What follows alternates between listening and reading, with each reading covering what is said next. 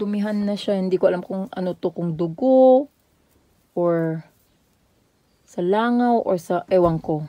Basta lalabhan ko na lang. Ito may kurtina siya.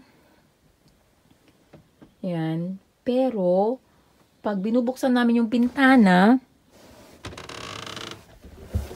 pakita ko sa inyo. so, kunwari nakabukas, para hindi um, pumasok yung mga langaw, may nets. Yan. May nets siya. Tapos paggabi naman, sinasara lahat namin yung mga bintana, kaya lang yung parang hindi naman totally sarado. Bali parang ganyan, para medyo may hangin na pumasok. Pero yan, ganyan. Yan, hindi siya totally sarado. Papansin ba? Yan. Medyo bukas siya ng konti. Tapos, etong nets ang ginagawa namin minsan or eto. Yan. Pero may pumapasok pa rin na hangin. Ganyan. Pag matutulog kami, lahat. Lahat is sinasara namin. Lahat, lahat, lahat. As in. Kaya, pag may titingin dito sa loob, wala sila makikita. Minsan din, pag kunwari, and nag-grocery kami, is yung mga bata naglalaro, naglalaro dito sa loob, okay na rin to, sapat na to, tong kurtina na to. Yan. Wala ka talaga makikita dito sa loob. Pag yan sarado. Yan. So, sarado ko muna lahat na maigi. Ah, sandali. Yun. Yun. Tapos. Yan. Dito rin sa amin, dito sa tulugan namin, may bintana rin dito sa taas. Yan. Nakabukas din yan. Para fresh, fresh air lagi. Yan. Excuse me. Tapos, itong pintuan niya, ito, pwede itong isara. Ayan. Sinasaro ko siya para hindi mahulog si Lala. Kasi magulo siyang matulog. Yung baby namin magulong matulog, baka mahulog. Kaya sinasara namin. Ganyan. Para may privacy rin kami, di ba? ano ba yan? Privacy ng mga privacy namin ng mga bata. Yan. Tapos may mga sabitan din dito. Yan. So, saka, ito yung heater na ang gamit is gas. Kaya pag maginaw ng konti, ino-on namin. Tapos may sisilipan din dyan sa baba, dapat makita rin na may apoy. Para pag may apoy, naka-on siya. Dito pala sa baba ng kama, may malaking lalagyan. Sandali buksan ko. Madali lang siyang buksan. Bali, itataas lang to. Itong nasa baba. Tapos, yan. Bukas na ba? Okay. Yan, nakabukas na siya. Dito namin nilalagay yung mga upuan. Kasi ito yung mga upuan kung pwede kaming mag-breakfast sa labas. Kulang pa ng table. Kaya lang, um, sa ngayon is hindi naman ma namin masyadong ginagamit. Tapos meron din saranggola dito sa baba. Yan. Yung maliit na sampayan.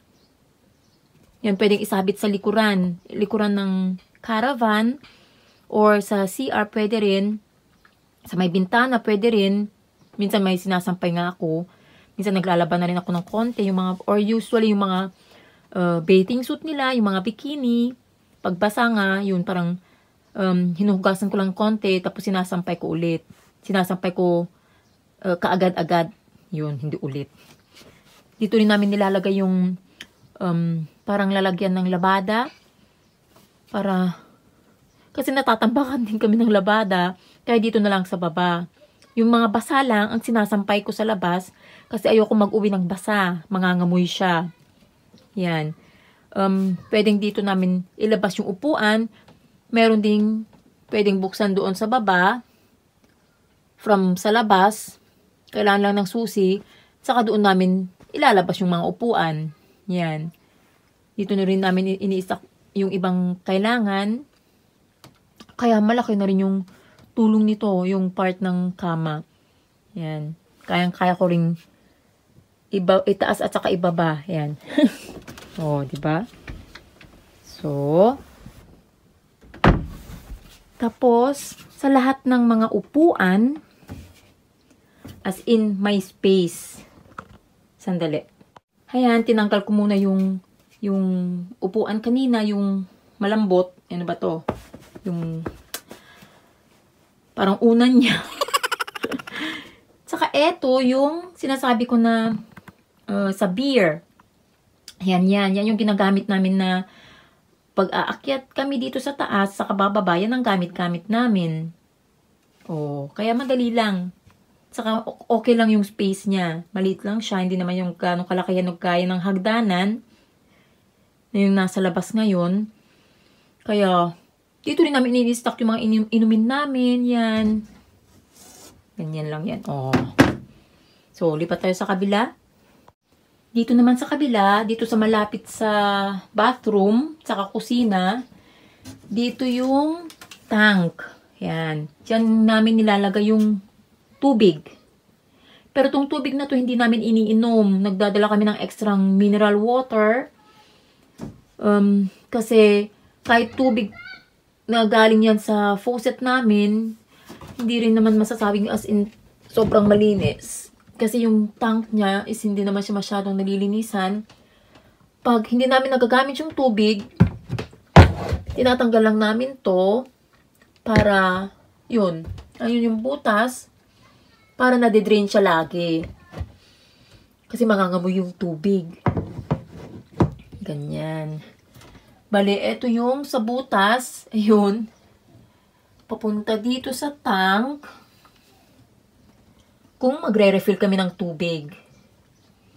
Tapos, eto yata is, di ko lang alam kung ano yung pang kusina at saka pang CR. Dito sa dalawa.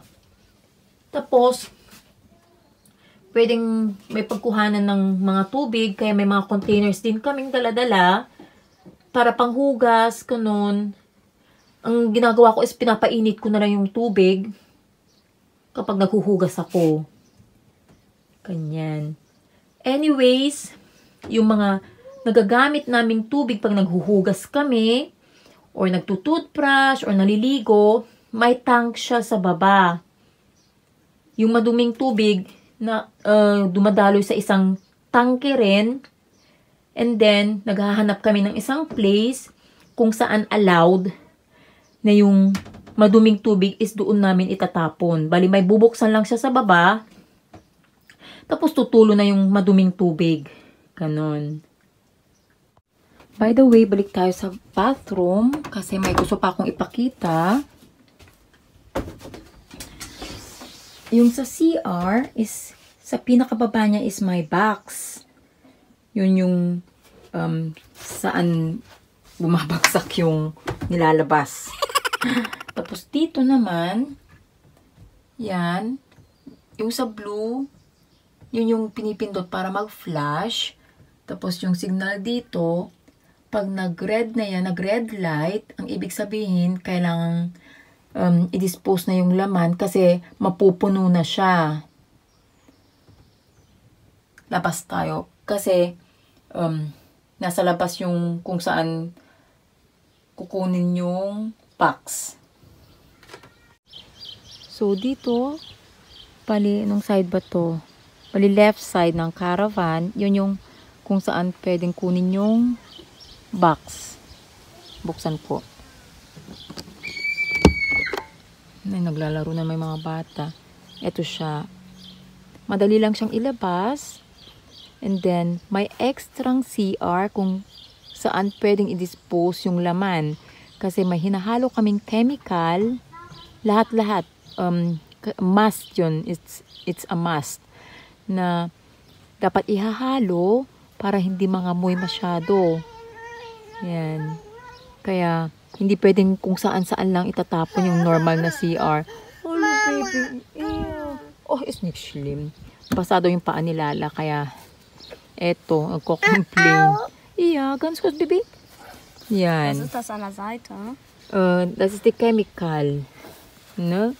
Was with the Rhine mission. Tinatanong ni Ate Kyla kung ano yung chemical na nasa side. Sandali pakita ko. Yan. Yan yung bottle ng chemical. Yan yung hinahalo namin. Ninig, das ist kaputt kit, pipi. So, asikasuin ko nga muna si Liit at nangiistorbo muna. Yun po yung aming caravan. Hindi namin magagamit this year. Pero siguro next year, ang importante lang is yung health muna. Yun muna ang asikasuin muna namin. Um, dito sa bahay, parang bakasyon na rin. Kasi nakakalabas yung mga bata, nakakapaglaro. Pero before ko um, tapusin tong vlog na to, gusto ko lang sabihin na tong caravan na to, nabili namin dahil sa aming kukuning au pair.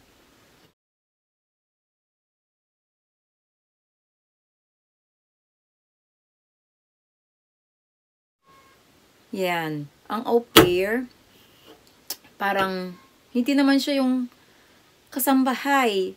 Siya yung parang mag-aalaga sa mga bata.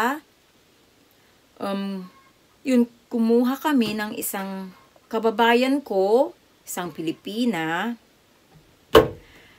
na, yun nga, hindi nag-work. Kaya ayoko nang kumuha ulit kahit ibang nationality, parang nawalan na ako ng ng gana. Yung parang nawalan ng tiwala.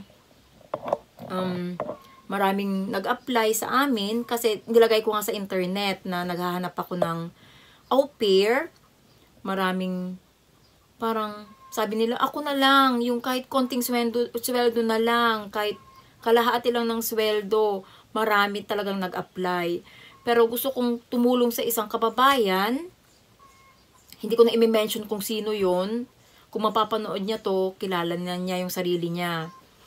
Um, hindi ko lang alam. Ang daming tanong sa isip ko na ang hirap sagutin yung gagawin mo na yung lahat para makatulong sa huli ikaw pa ang mapapasama. Or tinulungan mo na lahat-lahat yung pala lolokohin ka lang.